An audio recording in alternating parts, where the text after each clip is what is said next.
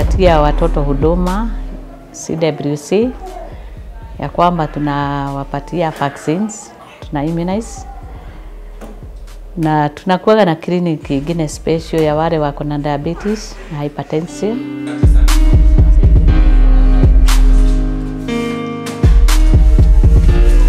hizi draining system zimekuwa zina affect watu na vitu kama magonjwa.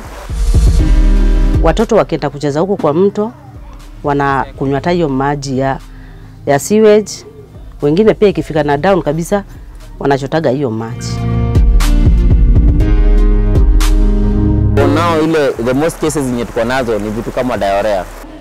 Kwa matibabu ile tuliwapatia, tulipatia huyo mtoto uh, jioni aliweza kuzidiwa akapelekwa Kenyatta.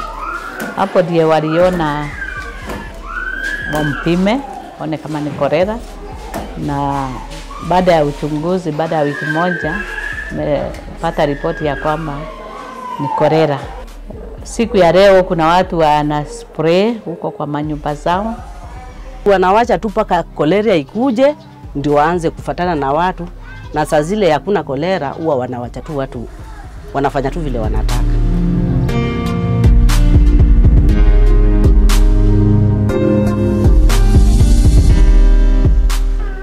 Kujizuilia kupata hii ugonjwa wa kipindupindu. Unakuta watu wazingatii sana kuoga kwa mikono, kuchemsha maji. Hizo ndio zile vitu muhimu kwa maisha.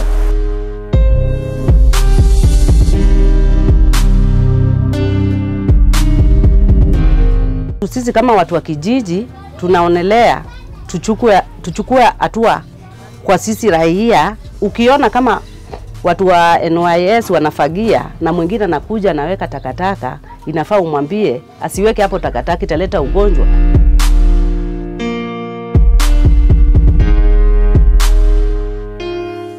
Hiyo hiyo story ya ya siwa wanafaa waachie tu Nairobi Water ikuwe kihando, nao Nairobi Water waweze kupunguza prices. Juu sisi kwako tunaonelea sisi watu wa kijiji, tukisema ati watu waache kumwaga takataka bila serikali, watu wanaona we unapenda tu kuongea kuongea, lakini tukiwa na serikali pia imeingilia, nafikiri hiyo kazi inaweza ikaenda poa sana.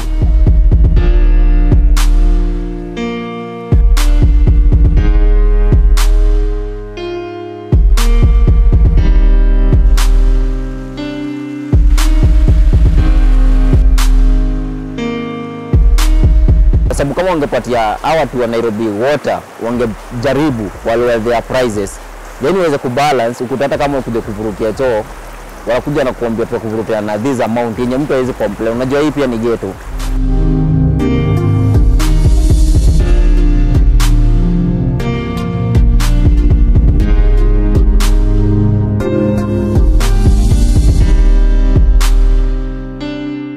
Hii ni ugonjwa inaletwa na poor hygiene. Kwa hivyo watu wakiwa wasafi, chakula inapikwa vizuri, inaiva, hii ugonjwa haiwezi kushika. Lakini mtu akiwa mgonjwa ama akisikia anahara, ni vizuri kukimbia hospitali hata. Ingine ni kwamba maji ile tunakunywa lazima tuchemshe.